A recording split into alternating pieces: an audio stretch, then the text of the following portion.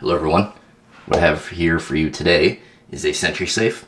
To be specific, it's a SentrySafe model SFW123FC.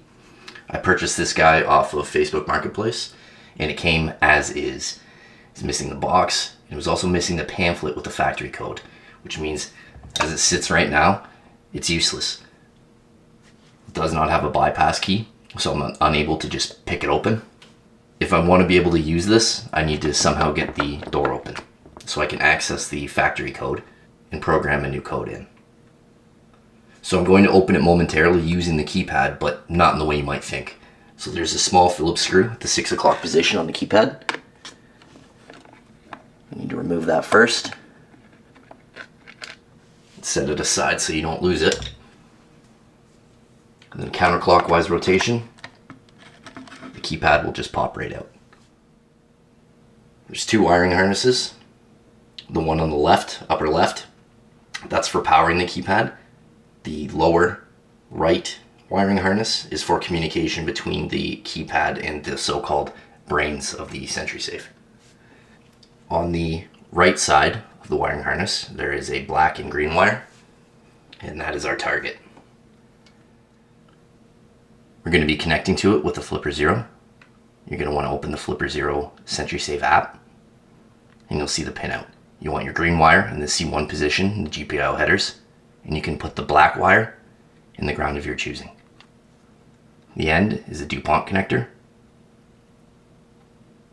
and I've used heat shrink to kind of keep the wires together. So we're going to go ahead and attach the wires into the wiring harness using the DuPont connectors at the end. They're going to slip between the white plastic housing of the wires and the wires themselves. As you can see, it says press OK to open safe. You're going to hear the solenoid fire as soon as I hit the OK button.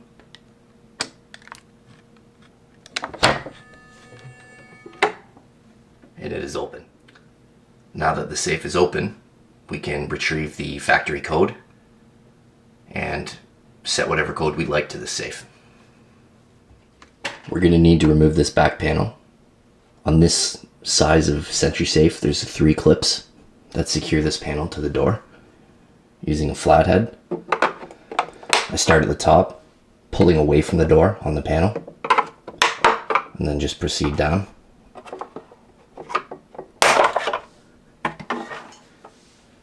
Set the panel off to the side. And you can see the bolt mechanism and up here is the solenoid mechanism. There are the wires running to it from the keypad. Located just out of sight here is a barcode that we're going to scan and it is going to give the factory code. So at this angle you can see the barcode clearly. It's easier to see with the bolt extended. Using a barcode scanner app, I'm going to go ahead and scan the barcode.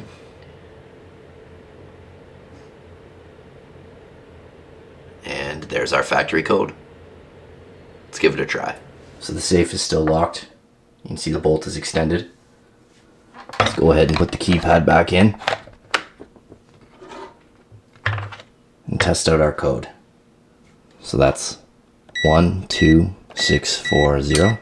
Here's the solenoid fire.